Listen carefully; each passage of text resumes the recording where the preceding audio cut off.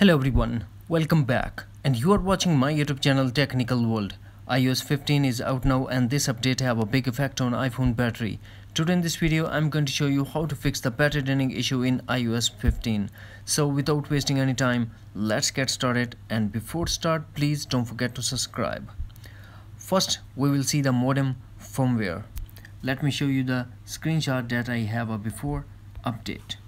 Modem firmware is 8.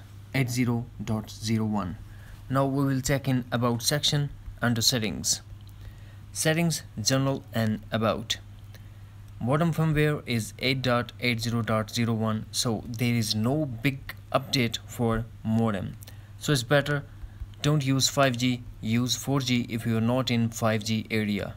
And if you are not using cellular or mobile data turn off mobile or cellular data the second thing that we have to do turn off location services launch settings then tap privacy and tap on location services and make sure that location services are turned off.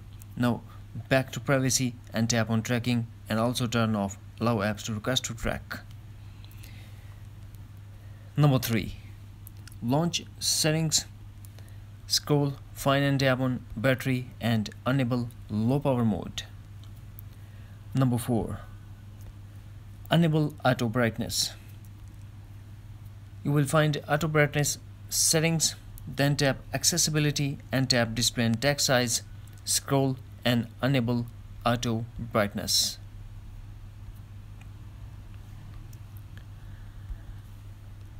Now we go for number 5. Reset all settings. This process will delete all your customized setting to default setting but no data or media will be deleted.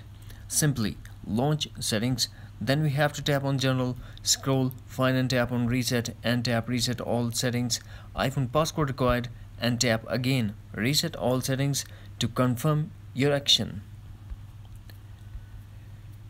Number 6. Launch settings.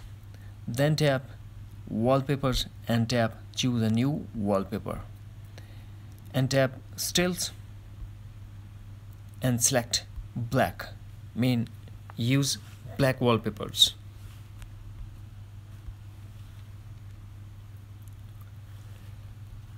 Number 7 first launch settings then tap notification.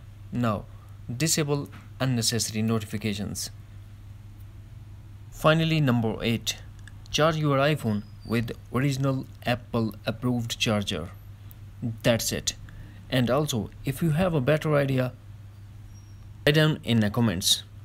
So, please don't forget to subscribe, like and share with your friends and family. Thanks for watching. Take care. Bye-bye.